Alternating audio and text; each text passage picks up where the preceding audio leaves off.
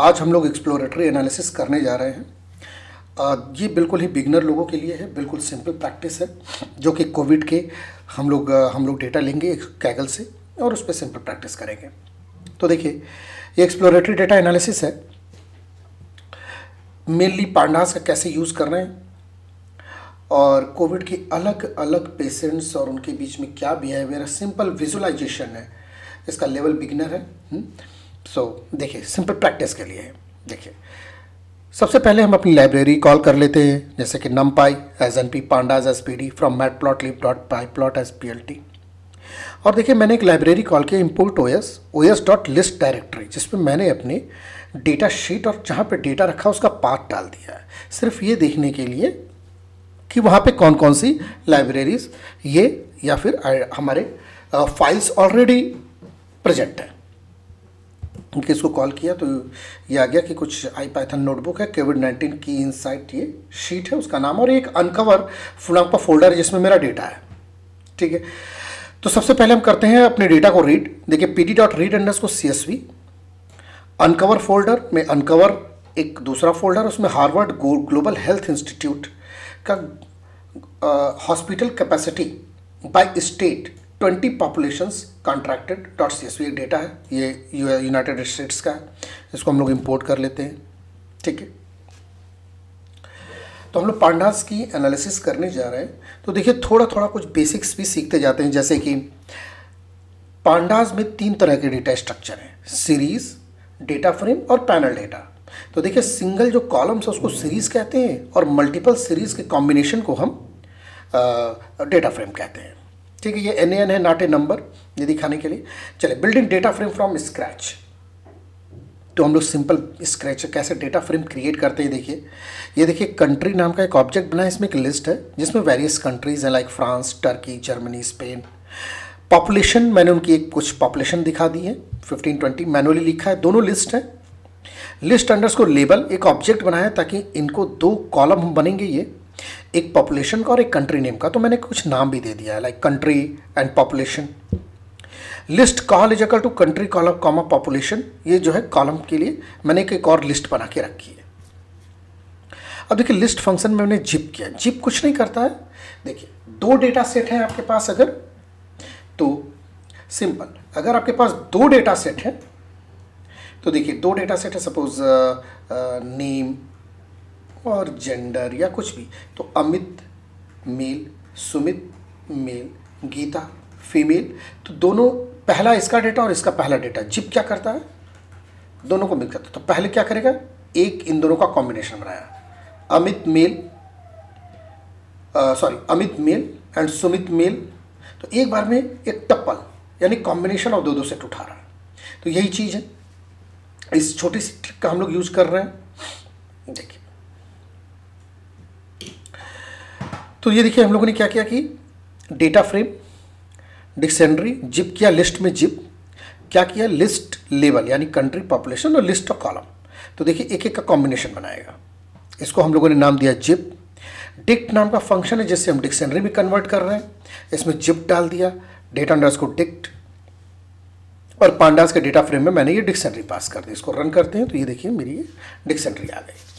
देखिए, ये जो लिस्ट कॉल है, आप सोच रहे होंगे कि ये क्या हुआ? ये कॉल क्या? ऑब्जेक्ट नेम है, ठीक है?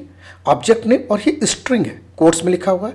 तो एक ऑब्जेक्ट नेम के साथ एक कॉलम एक एक स्ट्रिंग नेम के साथ एक ऑब्जेक्ट नेम असाइन किया, एक स्ट्रिंग के नेम के साथ एक ऑब्जेक्ट नेम असाइन किया, इसको डिक्ट में डाला और इसे डेटा फ्रेम बनाया।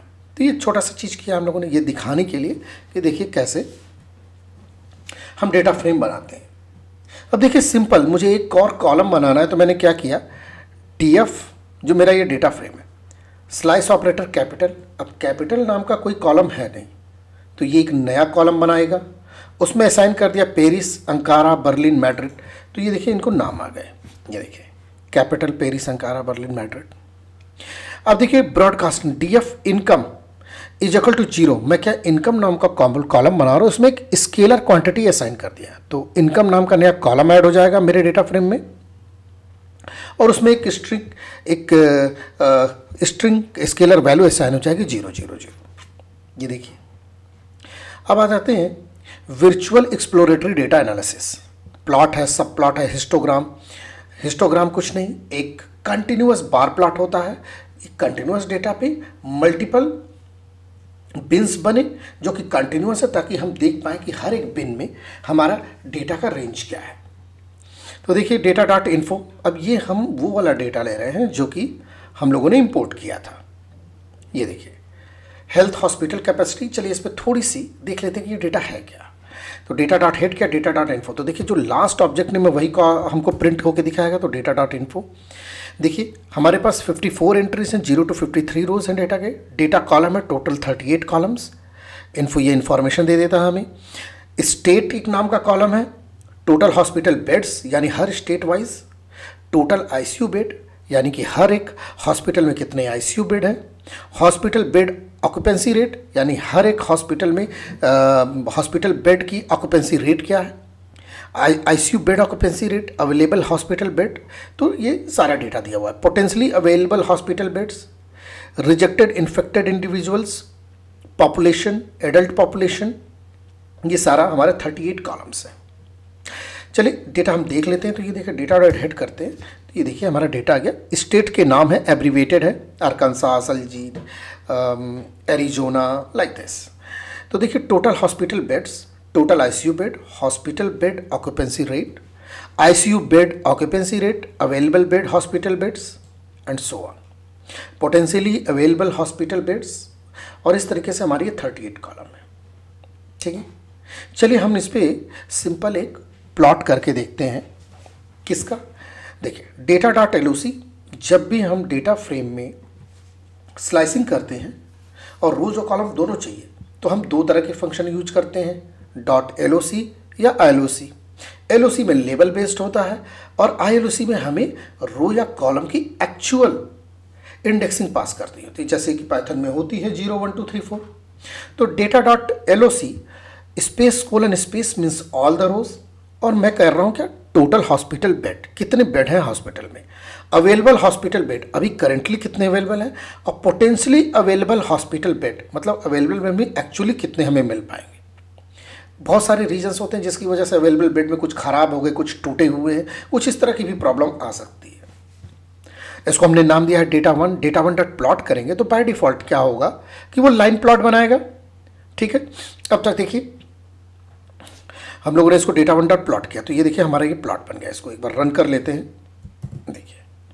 ठीक है। ये देखिए प्लॉट आ गया। Total hospital beds available hospital beds and potentially available hospital beds तो देखिए अवेलेबल हॉस्पिटल बेड्स एक्चुअली ये हैं।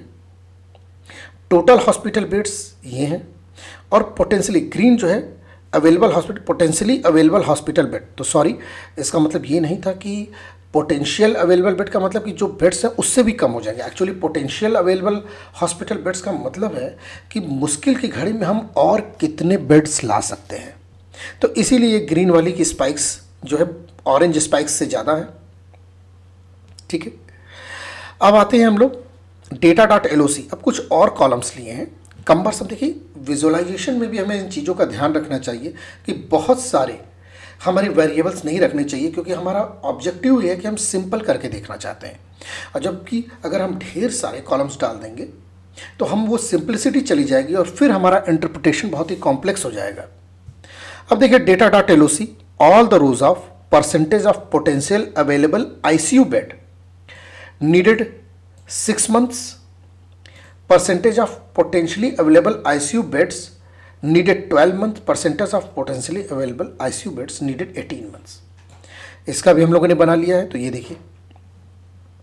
Potentially I ICU bed six month twelve month eight month इस तरीके से हम कंपेयर कर सकते हैं कि किस तरीके से बेड्स हमारे पास कम, ज़्यादा कम, ज़्यादा है।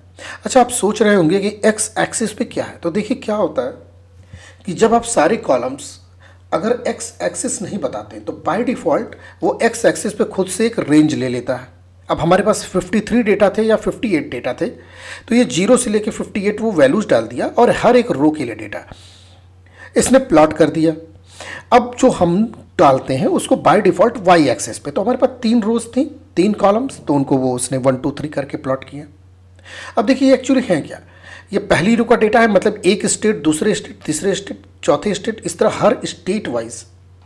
ये कितने पोटेंशियली और कितने जो है, सिक्स, ट्वेल्व और एटीन मंथ्स के लिए बेड्स अवेलेबल हैं। तो हम स्टेट वाइज कंपैरिजन कर पा रहे हैं। इसी तरीके से हम स्टेट वाइज मैनेज करने की कैपेसिटी रखते हैं। चलिए, डेटा वन हम लोग रखा था। डेटा वन पे डॉट प्लॉट किया, sub plot is equal to true. तो ये सब प्लॉट्स बना देगा। ये देखिए। सब प्लॉट से ट्रू तो यानी कि सबका separately total hospital bed available hospital bed potentially available hospital bed अब ये आपका काम है, आप इसको किस तरीके से इंटरप्रेट करते हैं? सिमिलरली डेटा टू पे भी किया तो ये देखिए तीनों आ गए, है ना? अब चल, चलिए। स्कैटर प्लॉट कुछ नहीं सिंपल प्लॉट होता है, जिसमें मार्कर्स हैं, ये जो डॉट डॉट है, एक तरफ़ एक्स एक्सिस और एक वाई एक्सिस है। इनके कोऑर्डिनेट्स को मैच करते हुए डॉट डॉट इसके बिहेवियर को देख के इसमें पैटर्न हम देखते हैं कि देखिए इसमें लिनियरली रिलेटेड है कि जैसे जैसे ये available ICU beds number of available ICU beds बढ़ रहे हैं पोटेंशियल अवेलेबल आईसीयू बेड्स भी बढ़ रहे हैं।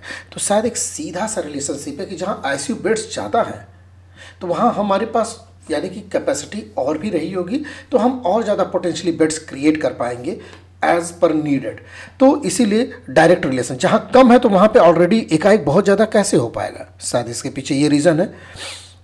Data dot plot kind is equal to scatter तो देखिए यहाँ पे हम बहुत सारी चीज़ें और भी डाल सकते हैं। सपोज़ मैं काइंड की जगह यहाँ पे सिर्फ़ टैप करता हूँ।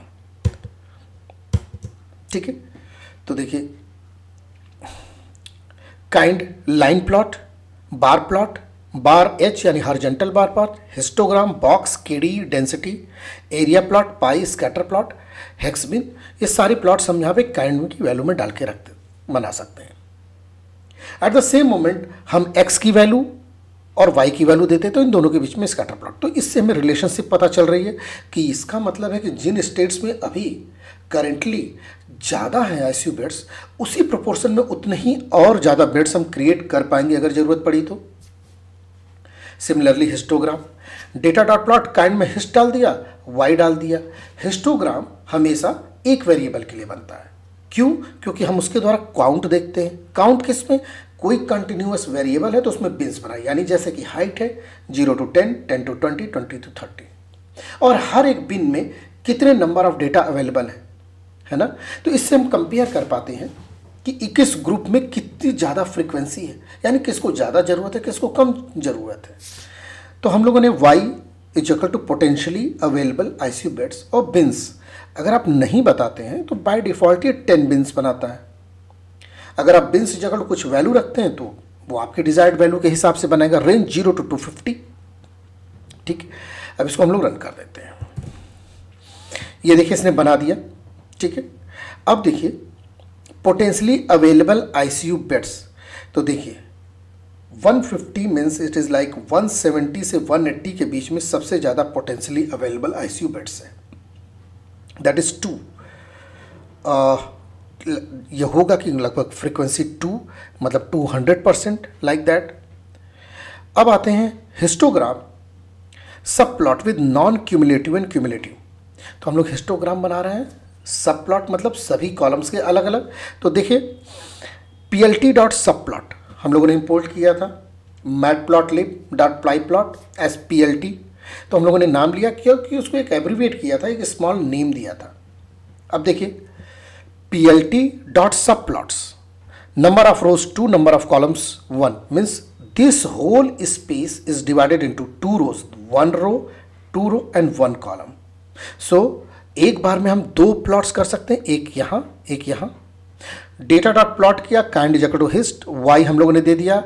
Potentially available ICU beds beds इतना fifty ax is equal to axes zero यानी ज़ीरो प्लेस पे। Data dot plot hist potentially available ICU beds bins fifty range zero to fifty axes at the place one cumulative is equal to true कर दिया। तो cumulative हो जाएगा cumulative plot बनाएगा। इससे हम देख पाएँगे कि टोटली एक एट ए पॉइंट हमारे पास टोटल कितने बेड्स हैं। चलिए, अगर इसको सेव करना है इस फिगर को तो एक सिंपल सी लाइन है कोड की P L T dot savefig और इसमें जब आप सेव करते हैं ना तो आपको एक नाम देना होगा, क्योंकि एक नई फ़ाइल बन रही है। तो नाम दे दिया कुछ भी ग्राफ डॉट डॉट के बाद आप जो भी एक्सटेंशन देंगे like P N G S V G J P G उस फॉर्मेट में वो सेव कर देगा। तो सपोज़ यहाँ पे ग्राफ डॉट पी दिया है तो सेव कर दिया। सिमिलरली हम लोगों ने अवेलेबल आईसीयू बेड्स के लिए भी यही चीज़ की है। तो इसको रन कर देते हैं। तो ये देखिए, ये आ गया हमारे पास। पहले डिस्क्रीट वे में हिस्टोग्राम और ये क्यूमुलेटिव तो टोटल एट ए पॉइंट हम हम पूरे over all over the state इतने बेड्स हम क्रिएट कर सकते हैं। सिमिलरली अवेलेबल और दूसरा हम लोगों ने अवेलेबल आईसीयू बेड्स और ये था पोटेंशियल अवेलेबल आईसीयू बेड्स तो ये ये देखिए सेम पैटर्न है, ठीक है? तो ये अवेलेबल आईसीयू है। पोटेंशियल तो एक स्मॉलर एक स्ट्रेटजी की थी कि डेटा के बारे में कैसे एक्सप्लोर करें। ये आपका प्रोरोगेटिव है, आप क्या, आपका आपका, आपको ये करना है कि आप कैगल से जाइए डेटा को लीजिए और ज़्यादा से ज़्यादा प्रैक्टिस कीजिए। तो आज के लिए इतना ही है। That's thank you very much